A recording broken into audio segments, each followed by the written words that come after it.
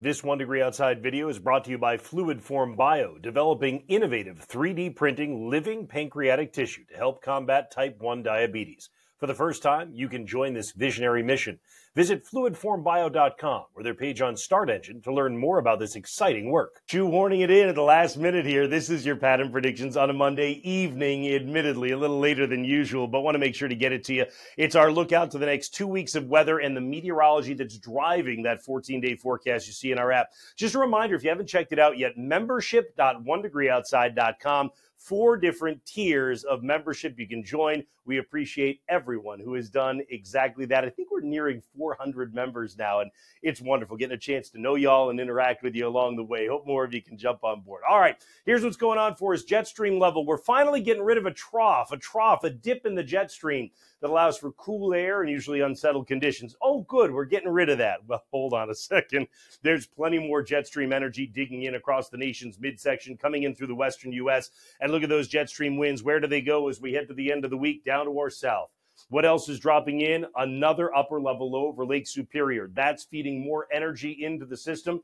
And this means that we are going to carve out another very well defined trough heading into the, up, into the upcoming weekend. That means cool and unsettled weather that'll be with us for the holiday weekend. Now, you can say, when do we improve? Well, Monday, we start to see the kind of axis to that dip in the jet stream moving to the east. That's good. That brings you some improvement Sunday and a Monday. Probably still be some pop up showers, particularly in the mountains, but you'll start to get at least some breaks of sun along the way, which is good.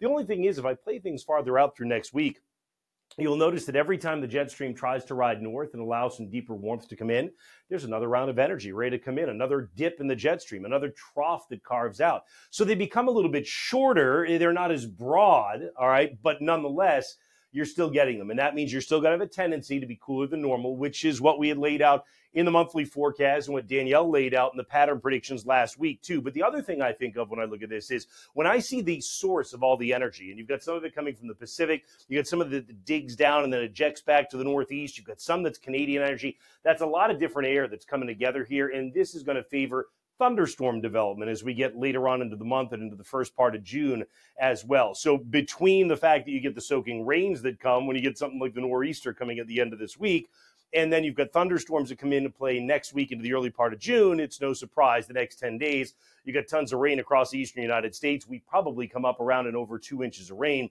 in New England by the time all is said and done. We definitely are keying in on Thursday as one of the days with steadiest and heaviest rain, but notice that chance remains elevated going into the holiday weekend. Even at its lowest, when you have the lowest chance of precipitation, many days are still at about 30%, which should tell you there's a little bit of flexibility on timing in here. But generally, we think that aside from a pop up shower left over on Memorial Day and Tuesday, you're probably getting back into an unsettled, uh, at least kind of period with another shot of that jet stream troughing coming in as we get to the middle of next week, and then perhaps again toward the end of the period in the beginning of June. But we think that again is going to be more thunderstorm action at that point.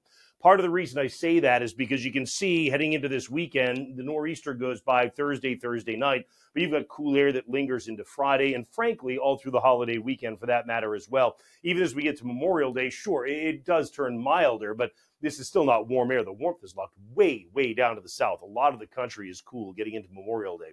By the time we get to the middle of next week, you still are holding on to some of that cool air. And then once we get to the end of the week, that's when we get that pattern change I was telling you about, where you start to warm up. You start to get a better chance of thunderstorms rather than a cooler rain that slides through as well.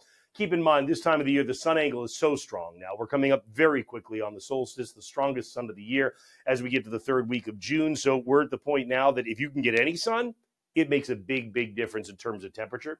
So that's why when you're not getting any sun, I mean, it's ridiculously cool. Some spots may rival cool high temperatures for the date as we head uh, over the next few days and into the ho- start of the holiday weekend. But then you do rebound. So the question then becomes what about frost? Because we had told you in the monthly forecast and in the pattern predictions along the way, stick really close to the normals this year. And that seems to have worked out really well in central and southern New England. When you get to northern New England, you're not really off the hook till late May. I don't think it's any different. I think it's still the same advice. Stick really close to the normals. And the reason I'm saying that is because even when you look at the overnight low temperatures and say, well, they definitely build as a New England average as we get into next week, you're right.